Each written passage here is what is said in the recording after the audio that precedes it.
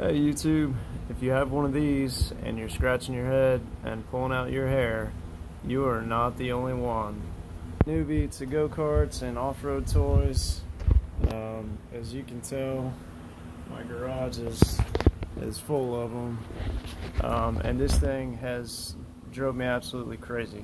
All I needed was a diagram of where these wires go and what they get connected to so far, every video I've watched has failed to do that. So I'm gonna go ahead and do that for you. All right, so I had one of these black boxes. It's got less wires.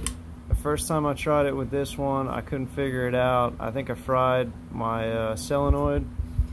Um, so I ended up buying another one. I got the red one. It's got five wires. All right, so here we go. First wire, ground, is yellow and green. You hook that to the frame. Make sure you make good contact. Charge coil. That's going to be the uh, white wire that comes out brown. Alright, if you can see the brown there, um, this is going to the charge coil that goes inside of your flywheel. It's going to come out of the side of the motor. Alright, this one, red wire. The red wire goes to the positive pole on your solenoid right? So when you hook your battery up to your solenoid and you put the positive to it, you're going to put this one on the same pole as that.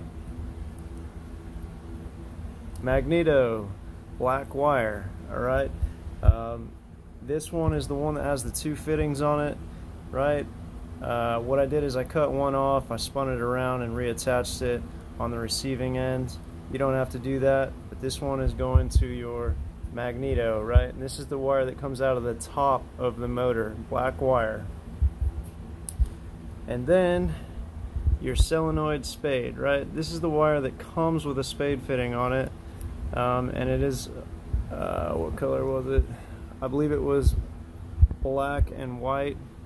Um, and so this one is going to the back of the solenoid on the spade fitting.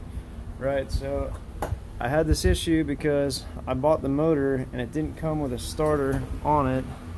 Uh, well, it came with a starter, but it didn't come with a solenoid or the ignition box or anything. So I've been playing guessing games trying to figure out where all these wires go, and there's no diagram that comes with this stuff. So after some troubleshooting, I finally figured out where everything goes, and here's your proof. It turns the motor over no problem, right? So if I can help just one person out, um, it'll it'll make me feel better for all the headaches that I've been through. So hopefully uh, this helps somebody and uh, enjoy your building experience.